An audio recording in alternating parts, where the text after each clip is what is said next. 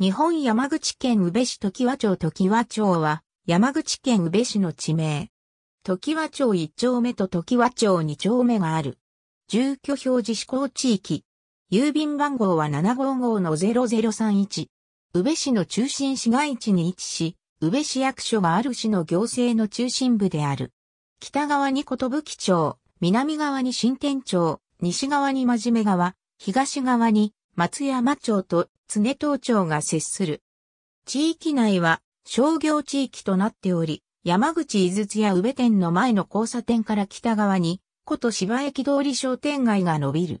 古都芝駅通り商店街は、1990年代にコミュニティ道路として再整備され、その際にスワンロードの愛称が付けられた。地区内には、宇部市役所や宇部税務署をはじめとした行政機関、広島銀行宇部支店等の金融機関が立地しており、宇部市の中心業務地区となっている。地区の南側には国道190号が通っており、松山町一丁目交差点から中央町交差点の間は、戦災復興都市計画により、福音50メートルの道路として整備され、時は通りの愛称が与えられている。市役所前交差点は、山口県道55号宇部高線の終点となっている。また、東側には国道490号が通っており、地区に接する区間を含み三宮通りの愛称が与えられている。時は通り沿道には山口井筒や宇部店が立地している。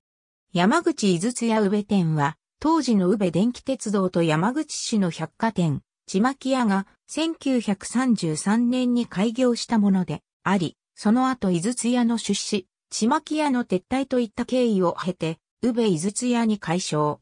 2008年には、ちまき屋の経営が悪化したため、宇部井筒屋がちまき屋を買収し、山口井筒屋に改称。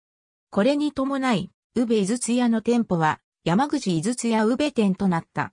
かつて町域内には、串部宇部本店と江村宇部支店が存在した。串部宇部本店は1951年10月に洋服小売業の串部用品店として創業。